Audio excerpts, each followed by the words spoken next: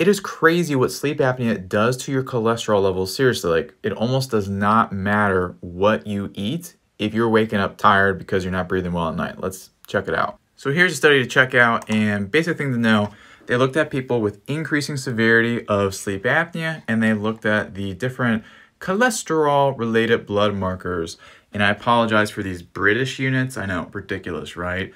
America has the best units, but all you gotta know, cholesterol goes way up, total cholesterol, all right? They controlled for what they were eating, cholesterol goes up, triglycerides go way up, HDL goes down, LDL goes up, and not only is the LDL more, it's also more of the worst kind.